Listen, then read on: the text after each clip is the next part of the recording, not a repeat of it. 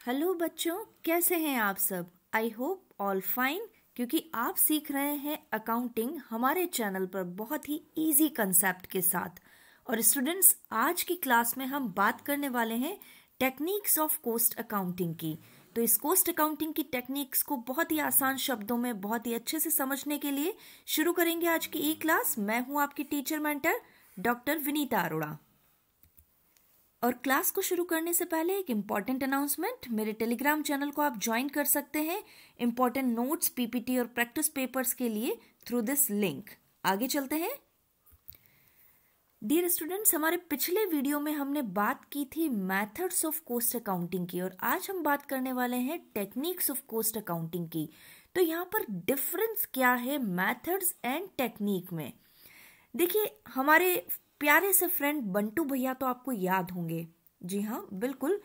इन बंटू भैया ने एक्चुअली इनका घर कुछ ये रहा और इनका कॉलेज कुछ ये रहा। अब क्या हुआ? बंटू भैया को जब कॉलेज से घर से कॉलेज जाना था तो यहाँ पर इनके पास तीन रास्ते थे। एक रास्ता ये जहाँ पर पेट्रोल पंप और मार्केट हुआ करता था। एक रास्ता जहाँ पर रेस्टोरेंट और पार्क हुआ करते थे और एक रास्ता जो बिल्कुल सीधा, सिंपल सा, शॉर्टकट। तो जब रास्ता ए, जब बंटू भैया को पेट्रोल भरवाना था, अपनी गाड़ी में, रास्ता बी, जब बंटू भैया लेट हो रहे थे और रास्ता सी जब बंटू भैया को पार्टी करनी थी थोड़ा रेस्टोरेंट में एंजॉय करना था तो ऐसी कंडीशन में घर से कॉलेज जाने के जो रास्ते हैं ये तीन तरीकों से आते हैं। So these are three methods now when we are talking about the techniques techniques means वो टूल्स जिसकी सहायता से इन मैथड्स पर जाकर अपने टारगेट को अचीव किया जाएगा। लाइक like, घर से कॉलेज बाइक से जाया जाता है, साइकिल से, पैदल या फिर बाय कार। तो ये फ़र्क है मेथड और टेक्निक में। मेथड एक सिस्टमैटिक प्रैक्टिस है, जिससे हम अपने टूल को, टारगेट को अचीव करते हैं। That means calculation of cost calculation of per unit cost जबकि टेक्निक वो टूल है, जिनसे इन मेथड के सहारे टारगेट को अचीव किया जाता है। So guys I hope methods and technique में डिफरेंस आप समझ गए होंगे। तो आज हम बात कर रहे हैं टेक्निक्स पर।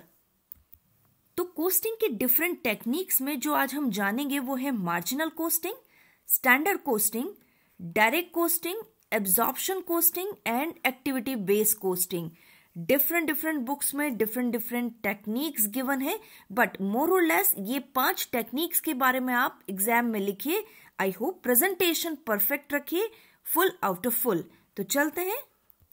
हमारी पहली टेक्निक मार्जिनल कोस्टिंग पर। सबसे पहले स्टूडेंट्स मार्जिनल कोस्ट होता क्या है? देखिए कई स्टूडेंट्स ने मार्जिनल कोस्टिंग का नाम सुना होगा, लेकिन मार्जिनल कोस्ट एक इकोनॉमिक टर्म भी है, जिसमें हम एक एडिशनल यूनिट को प्रोड्यूस करने के लिए कोस्ट कैलकुलेट करते हैं।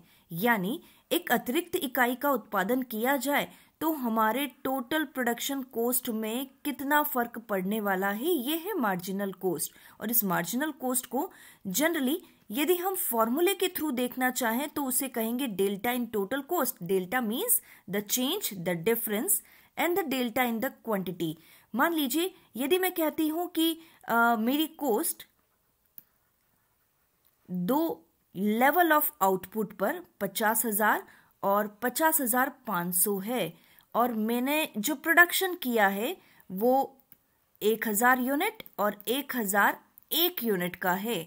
तो ऐसी स्थिति में यहाँ पर जो डिफरेंस है, वो 500 डिवाइडेड बाय वन और ऐसी स्थिति में मेरी जो एक अतिरिक्त इकाई, यानी जो एडिशनल यूनिट मैंने प्रोड्यूस की है, उसकी जो कॉस्ट रही है, वो 500 रही है। नाउ द कंसेप्टिव्स आप सोच रहे होंगे, भाई सिंपल ही तो था। लेकिन यहाँ जो कंसेप्ट है वो ये है कि मार्जिनल कोस्ट टोटल कोस्ट को फिक्स्ड और वेरिएबल कोस्ट में डिवाइड करती है।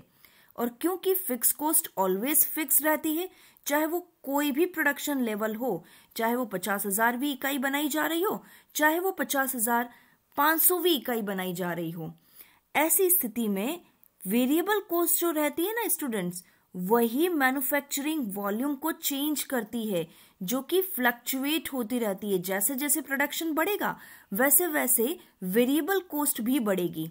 तो ऐसी स्थिति में मार्जिनल कॉस्ट में केवल और केवल वेरिएबल एक्सपेंडिचर को ही कंसिडर किया जाता है। यानी हम बात करें तो marginal cost is equal to variable cost यानी यहाँ पर जब हम कोस्ट के लिए बात करते हैं फिक्स्ड प्लस वेरिएबल तो यहाँ पर फिक्स्ड को एलिमिनेट कर दिया जाता है और कोस्ट से मतलब वेरिएबल कोस्ट ही रखा जाता है। और क्योंकि फिक्स्ड कोस्ट चाहे कोई भी लेवल ऑफ़ प्रोडक्शन हो, एक सीमा तक स्थिर रहती है फिक्स रहती है इसलिए इसका जो फ़ायदा है, इसकी जो कॉस्ट है, ये सारी यूनिट्स पर इक्वली डिस्ट्रीब्यूट होती रहती है। इसलिए इसका प्रोडक्शन पर कोई फ़र्क नहीं पड़ने वाला, ऐसा मार्जिनल कॉस्टिंग मानती है। इसलिए यहाँ पर कॉस्ट का मतलब केवल केवल वेरिएबल कॉस्ट ही देखा जाता है। आगे अगली टेक्निक पर बात करते हैं। और हमारी अगली टेक्निक स्टैंडर्ड कोस्टिंग भी बहुत सिंपल स्टैंडर्ड कोस्टिंग में किस तरह से काम होता है, पहले इसे समझते हैं और बहुत ही एक अच्छा सा एग्ज़ाम्पल मैं आपको दूँगी। यहाँ पर एडवांस में ही आपकी प्रोडक्ट की, यानी जो प्रोडक्शन होने वाला है, उसकी कॉस्ट कैलकुलेट की जाती है। On the basis of the कोई प्रोबेबल एक्सपेक्टेशंस हो सकते हैं या पास्ट ऑब्जर्वेशन हो सकते हैं। यही जो कॉस्ट कहलाती है ना बच्चों ये कहलाती है स्टैंडर्ड कोस्ट। लेकिन जब एक्चुअल प्रोडक्शन कंप्लीट हो जाता है तो इस एक्चुअल प्रोडक्शन के कोस्ट को कंपेयर किया जाता है स्टैंडर्ड कोस्ट से। और इस तरह से यहाँ पर standard cost minus actual cost के द्वारा वेरियांसेस डिफरेंस कैलकुलेट किए जाते हैं। क्योंकि हमें पता है, जो हमने स्टैंडर्ड फिक्स किया है, वैसे एक्चुअल होगा या नहीं भी होगा। तो इस तरह से वेरियांस फिक्स किए जाएँगे और इन वेरियांस और इन डिफरेंसेस का एनालिसिस किया जाएगा और इस एनालिसिस के थ्रू रिस्पॉन्सिबिलिटी डिसाइड करके करेक्टिव एक्शंस लिए जा सकते हैं। स्टेप बाय स्टेप इसे समझें। तो यहाँ पर सबसे पहले स्टैंडर्ड्स स्टैब्लिश किए जाएँगे, उसके बाद एक्चुअल कॉस्ट ली जाएगी और फिर फाइनली इसका कंपैरिजन किया जाएगा। कंपैरिजन के बाद जिस तरह से भी वेरियांस निकलते हैं, चाहे वो एडवर्स होंगे, यानी विपरीत होंगे, या माइनस में होंगे, या फेवरेबल होंगे, यानी प्लस में होंगे, उसके अकॉर्डिंग इन वेरियांस के हिसाब से रिस्पॉन्सिबिलिटी डिसाइड करके करेक्टिव एक्शंस लिए जाते हैं। बहुत अच्छा सा एग्ज़ाम्पल एग्ज़ाम्स आने वाले हैं और इन एग्ज़ाम्स में हमने स्टैंडर्ड फिक्स किया है कि हम डेली का चार घंटे पढ़ेंगे। लेकिन एक्चुअल में क्या हो रहा है? एक्चुअल में पहले दिन हम दो घंटे पढ़े, दूसरे दिन हम तीन घंटे पढ़े, तीसरे दिन हम एक ही घंटे पढ़े। तो गाइज़ यहाँ पर स्टैंडर्ड से कंपेयर करिए हर अपनी एक्चुअल एक्टिविटी को और फिर वेरियांस डिसाइड करने के बाद देखिए कि क्यों हम अपने स्टैंडर्ड को अचीव नहीं कर पा रहे हैं। इसका क्या कारण है और उससे करेक्टिव एक्शन लीजिए कि क्या हमें चार घंटे पढ़ाई करना चाहिए। या फिर इस स्टैंडर्ड को ही सुधार कर हमें तीन घंटे कर देना चाहिए, क्योंकि हम इतना पढ़ ही नहीं पा रहे हैं। तो इस तरह से जो कंप्लीट कोस्टिंग होती है ना गाइस वो होती है स्टैंडर्ड कोस्टिंग आगे चलते हैं। बात करते हैं डायरेक्ट कोस्टिंग की। बहुत सिंपल सा कंसेप्ट डायरेक्ट कोस्टिंग में जो भी accounting follow cost accounting follow की जाती है, उसमें केवल प्रोडक्शन के उन्हीं फैक्टर्स को मेजर किया जाता है जो कि डायरेक्ट रिज़ल्ट देते हैं प्रोडक्शन को डायरेक्टली कनेक्टेड होते हैं प्रोडक्शन से। जैसे, हम किसी पेन का प्रोडक्शन कर रहे हैं तो हमें पता है अच्छे से मटेरियल लग रहा है लेबर लग रहा है, इस पर अदर एक्सपेंडिचर्स भी लग रहे हैं, लेकिन जो डायरेक्टली जो डायरेक्टली इससे कनेक्टेड हैं चाहे वो प्लास्टिक हो सकता है, चाहे वो लेबर हो सकता है जो इसको बनाने में लगा हुआ है, चाहे इसके प्रिंटिंग एक्सपेंडिचर्स हो सकते हैं, लेकिन यहाँ पर पेन को बनाने के लिए हमने मशीन परचेज किया होगा। ये हम इनडायरेक्ट मानते हैं। या हमने लेबर को सुपरवाइज करने के लिए एक सुपरवाइजर लगा होगा। ये भी हम इनडायरेक्ट कोस्ट मानते हैं। तो यानी तो यानी यहाँ पर डायरेक्ट कोस्टिंग में केवल और केवल डायरेक्ट एक्सपेंडिचर्स को या डायरेक्ट कोस्ट को ही कंसिडर किया जाता है। कोस्ट का मतलब ही केवल और केवल डायरेक्ट मटेरियल डायरेक्ट लेबर और डायरेक्ट अदर एक्सपेंसेस होते हैं, जो कि मैंने आपको यहाँ पर बताया भी है। जिस तरह के भी इनडायरेक्ट एक्सपेंडिचर है, चाहे वो फैक्ट्री इक्विपमेंट्स को परचेज करने का हो फैक्ट्री के मेंटेनेंस का कॉस्ट हो मशीन के रिपेयर मेंटेनेंस का कॉस्ट हो स्टाफ के रिक्रूटमेंट का कॉस्ट हो, उनके ट्रेनिंग के एक्सपेंडिचर्स हैं, जितने भी इनडायरेक्ट एक्सपेंडिचर्स हैं जो प्रोडक्शन से डायरेक्टली रिलेट करते ही नहीं है, उन्हें हटा दिया जाता है।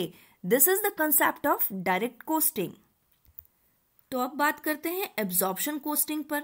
देखिए एब्जॉर्प्शन कोस्टिंग ये वही है जो नॉर्मल ट्रेडिशनल कोस्टिंग भी कहलाती है, जो हम आगे आपको अगले चैप्टर्स और सिलेबस में भी पढ़ाएँगे। होता क्या है इसमें?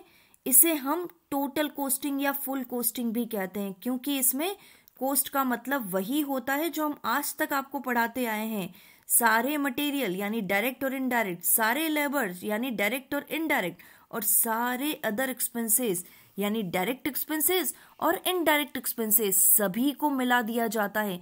यानी किसी प्रोडक्ट के प्रोडक्शन में जितने भी खर्चे हुए हैं, उन सभी खर्चों को जोड़ लिया जाए तो ये एब्जॉर्प्शन कोस्टिंग का पार्ट है।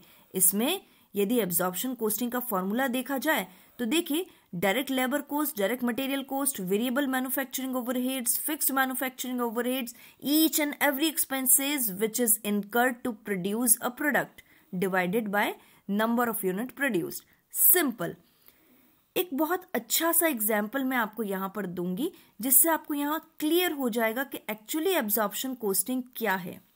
मान लीजिए, हमारे पास तीन फ्रेंड है ए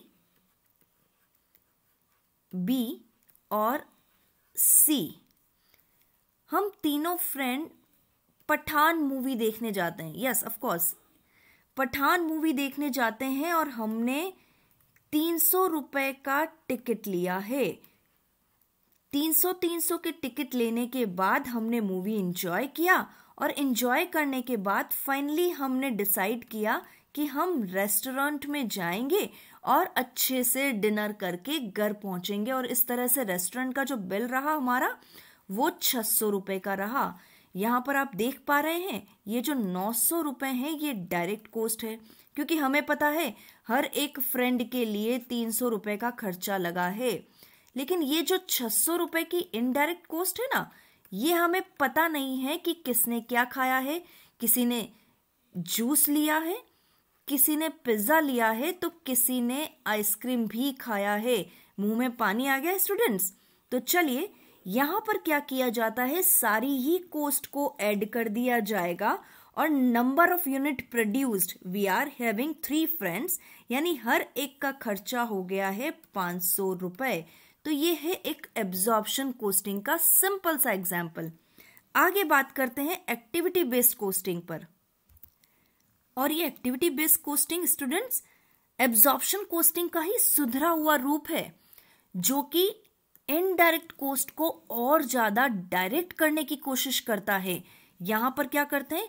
सारी जो कोस्ट हम आइडेंटिफाई करते हैं, उन्हें एक्टिविटीज़ के बेसिस पर बांट दिया जाता है। और इस हिसाब से, इस तरह से एक एक्टिविटी कोस्ट पूल तैयार होता है और सारी एक्टिविटीज़ के बेसिस पर कोस्ट को डिवाइड करने के बाद हम उसे प्रोडक्ट पर चार्ज करते हैं। किस तरह से हमारे पिछले एग्ज़ाम्पल ही बात करते हैं? हमने तीन सौ रुपए ए ने, तीन सौ रुपए बी ने और तीन सौ रुपए सी ने यहाँ पर अपने टिकट के लिए खर्च किए थे। फिर रेस्टोरेंट में जाकर हमने छह सौ रुपए और खर्च किए। एक्टिविटी बेस्ड कोस्टिंग एक्टिविटीज़ के थ्रू ये बताएगा कि किसने आइसक्रीम खाई है, किसने पिज्जा खाया है और किसने जूस पिया है, क्योंकि हम सभी जानते हैं जूस पचास रुपए में आ जाएगा, आइसक्रीम तो तीस रुपए में ही आ जाएगी और पिज्जा ज़रूर दो सौ रुपए तक आएगा। तो यानी कुल मिलाकर हमारा जो खर्चा बैठने वाला है, हमारा जो खर्चा बैठने वाला है, जो कि छह सौ रुपए का था। भाई, यहाँ पर थोड़ा प्राइजेस हमें बढ़ाने पड़ेंगे। यहाँ पर थोड़े प्राइजेस बढ़ाइए और यहाँ पर जो प्रपोर्शनेट जो हम करना चाहते हैं वो ये है कि यहाँ पर्टिकुलरली जिसने आइसक्रीम खाई है, उसका आइसक्रीम का खर्चा, जिसने पिज़्ज़ा खाया है, उसको पिज़्ज़ा का खर्चा और जिसने जूस पिया है, उसके जूस के खर्चे के अकॉर्डिंग टोटल कॉस्ट कैलकुलेट कर ली जाएगी। यानी यहाँ पर ज़रूरी नहीं है कि सभी ने पाँच सौ रुपए का ही खर्चा किया है। ईच एंड एवरी प्रोडक्ट का एक्चुअल जो खर्चा है एक्चुअल डायरेक्ट और एक्चुअल इनडायरेक्ट खर्चा है, उसे ही आइडेंटिफाई किया जाएगा थ्रू एक्टिविटी कोस्ट पूल तो आगे चलते हैं गाइस एक प्यारे से थैंक यू की और आप अभी तक मेरे साथ बने हुए हैं, इसके लिए बहुत बहुत धन्यवाद। और हमारे इस यूट्यूब चैनल को आप सब्सक्राइब करें। वीडियो यदि पसंद आया हो, कुछ नया सीखने को मिला हो तो लाइक ज़रूर करें और साथ ही अपने फ्रेंड्स के साथ, अपने कॉमर्स फ्रेंड्स के साथ शेयर ज़रूर करें। Thank you guys thank you so much